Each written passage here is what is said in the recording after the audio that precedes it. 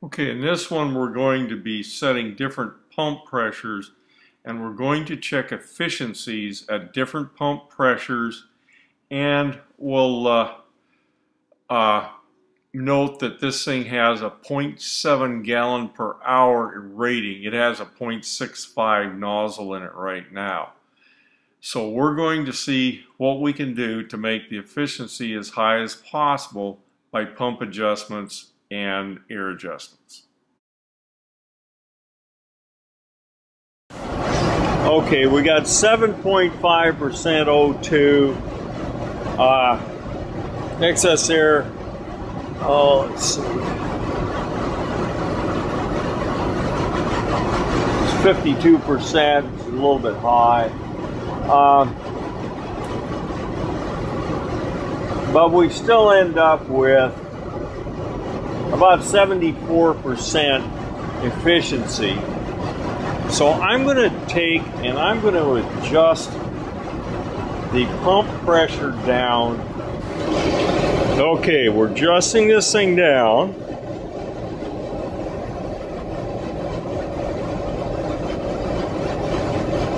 About as low as I'm going to be able to get, 75. A lot of them won't go very low. So I'm at 75 pounds. Now we'll go check our efficiency. Okay, you notice our excess air has gone up to 74, and I think it was 58 or whatever. I'll have to double check that. Uh, our O2 went up too. So our stack temperature went down. So do I have a higher efficiency burn?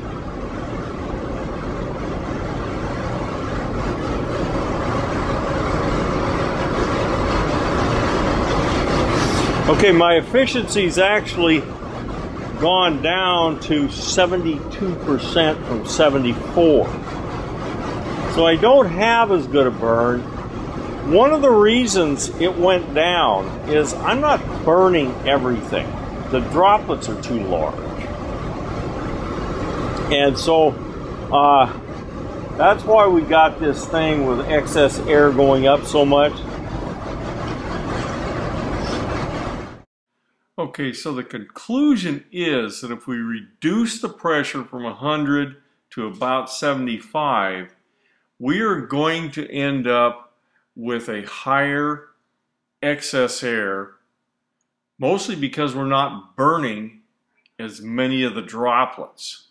That's why the O2 uh, is higher, because it is not mixing with the droplets and being burned.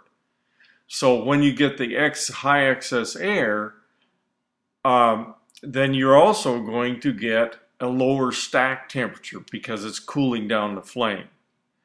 So droplets are too big with low pressure to burn completely.